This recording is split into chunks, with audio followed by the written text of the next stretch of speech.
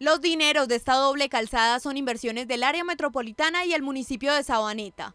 Los predios serán comprados en próximos días. La obra durará cuatro meses. Vamos a hacer que esos cuatro carriles no queden en uno, sino que continúen en cuatro hasta el hospital, quedando pendiente un tramo final que es desde el hospital hasta la carrera 45 las obras viales costarán 1.800 millones de pesos, los predios 2.200 y aunque los habitantes ven la obra como positiva, dicen estar preocupados porque aún no les avisan cómo se regirá la compra de sus propiedades. No sabemos si nos van a reubicar o si nos van a indemnizar o qué van a hacer con nosotros los, que, los propietarios de negocios de esta vía.